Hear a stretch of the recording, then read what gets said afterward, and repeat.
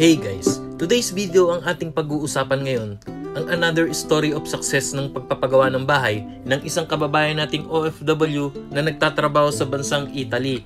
At yan nga guys ay matutunghayan natin to step by step na kung saan ito po ay binigay ang buong detalye ng mga materyales na ginamit dito upang magkaroon din tayo ng basihan at idea sa ganitong forma or design na bahay na ang sukat nga ay 80 square meters. At yan nga guys, meron itong full video house tour na makikita natin kung gaano nga ba kaganda ang pagkagawa nito mula sa labas hanggang sa pagpasok natin sa loob at lalong lalo na yung mga interior designs and decorations nito. So guys, ang bahay pong ito ay pagmamayari or pinagawa ni Sir Lon Maranan na kung saan siya nga po ay isang OFW sa bansang Italy. So guys, ayan po sa puntong ito ay nag-start na nga po silang mag-layout and then ina-assemble na po ang kanilang mga bakal para sa poste. At yan nga guys, pag-usapan na agad natin ang binigay na detalye about sa structural ng pagpapagawa ng bahay na ito. So ayon po sa binigay na details ni Sir Lon, na ang nagamit pong hollow blocks dito ay umabot po ng 2,500 piraso. At yan nga po ay kasama na rin dito ang septic tank sa sukat na 80 square meters. And then guys, about naman po sa kanilang mga simento, na kung saan ito po ay 220 piraso. Lahat-lahat na po yan sa ganitong sukat na bahay at fully finished. And then guys, sa mga bakal naman po ay gumamit siya dito ng 16mm, 12mm at 10mm. At yan nga ay nirequest ni sir na talagang gusto niya ay garantisadong matibay ang pagkagawa ng kanyang bahay.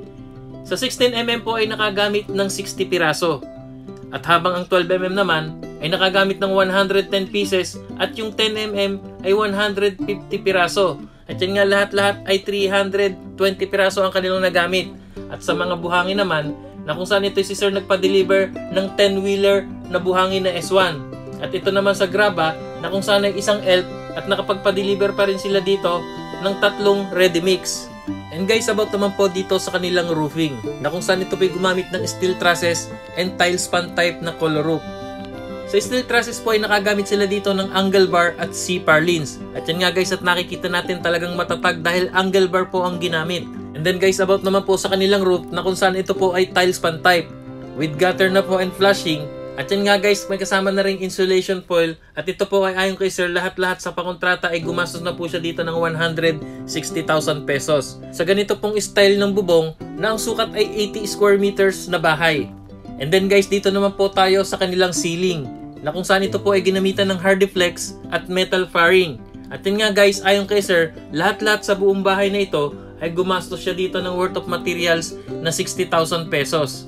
So guys, ito naman po ang ating pag-usapan about sa tiles work ng buong bahay na ito. At yan nga ayon kay sir, dito po sa mga flooring ay gumamit siya dito na sukat na 60 by 60 at yung ibang part naman po ay 40 by 40 at yan nga ay nandito na ang sala, kwarto at flooring ng mga kusina at sa harap ng terrace. And then guys, lahat-lahat nga ito ay worth of materials ay gumastos siya ng halagang 60,000 pesos. And then guys, bukod pa po yung mga tiles dito sa harap ng bahay. At ayon po kay sir, ito po ay made in Italy at yan lahat-lahat ay gumastos siya ng halagang 40,000 pesos. And also guys, dito naman sa kitchen, iba rin po ang pagkakagawa ng tiles nito. At ayon po kay sir, ito pong sa kitchen ay ginamitan niya ng granite. At yan nga guys, lahat-lahat, ito po ay worth of 20,000 pesos ang kanyang nagastos. And after nyan guys, ay pina-installan niya ito ng hanging cabinet or kitchen cabinet na kung saan ito po ay alloy or aluminum. At ayon po kay sir, lahat po ito pati sa baba at taas ay gumastos siya dito ng halagang 45,000 pesos. Diyan po sa kitchen cabinets na yan.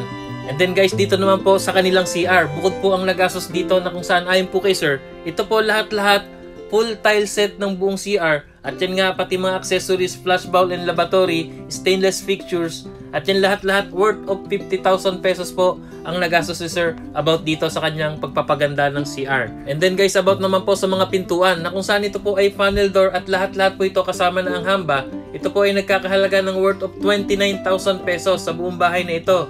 And also guys, dito naman sa mga bintana. At yun nga ay nakikita natin, ito po ay merong sliding windows at meron din po itong mga steel windows. At yun nga lahat-lahat guys, buong bahay na ito sa estimation cost ay gumastos po ito ng halagang 45,000 pesos. And then guys, about naman sa electrical. Dito po sa buong bahay, kasama na ang materyales, plug, etc., wirings, at lahat po ito ay gumastos si sir ng halagang 30,000 pesos. So guys, ayun nga po't nakita natin yung bahay buong buo na at talagang napakaganda ng setup nito. And then guys, pinapinturahan ito ni sir at lahat-lahat po ito labor and materials ay gumastos siya ng halagang 80,000 pesos. So ito na po yung full video house tour panoorin po natin at siyasatin nating mabuti. At yan nga ay kuhanan na rin natin ng idea ang bawat interior designs nito. At yan nga guys, after nating mapanood dito, ay malalaman na nga natin kung magkano nga ba inabot ang pagpapagawa ni Sir Lon ng kanyang dream house para sa kanyang minamahal na pamilya.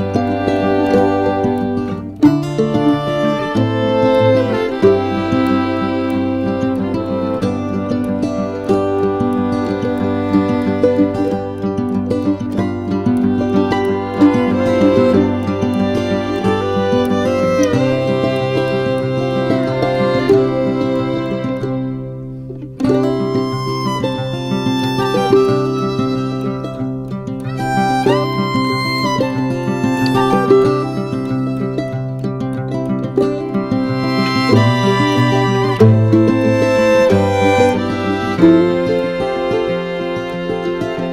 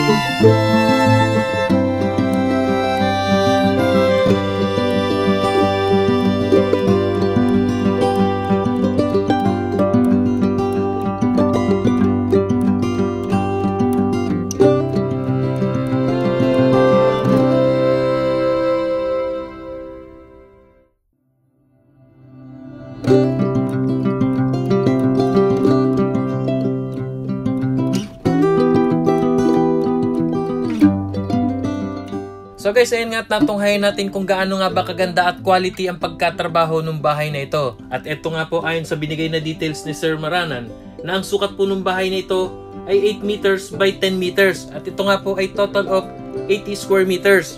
Ito naman ay kinonvert natin by the feet at lumalabas ito na 26.6 feet by 33.3 feet.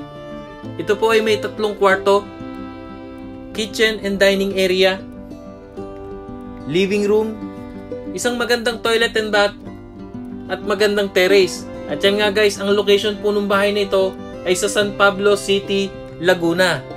And then ayon po po kay sir, ito po ay talagang pinagsumikapan niya ng gusto sa pagtatrabaho niya sa bansang Italy. At ito po lahat-lahat, ang kanya na pong nagastos, labor and materials, sa buong bahay nito ay umabot na po ng 1.3 million pesos. And then guys, kasama po ang gamit, sa kanyang estimation ay lahat-lahat po ay nakagastos siya dito ng halagang 1.5 million pesos.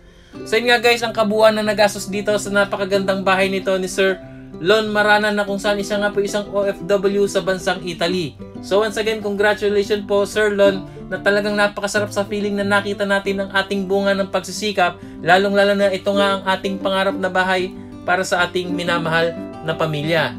So ikaw kapatid, kung na-inspired at na-bless at may natutunan ka sa vlog na ito, ay mag-subscribe ka na agad at i-click ang notification bell para ma-update ka sa mga bagong videos natin about sa pagpapagawa ng mga bahay para magkaroon ka rin ng idea. At kung ikaw ay sasabak na sa iyong pagpapagawa ng bahay, eh kahit paano eh meron tayong kanting nalalaman na idea at siguradong hindi tayo maiisahan.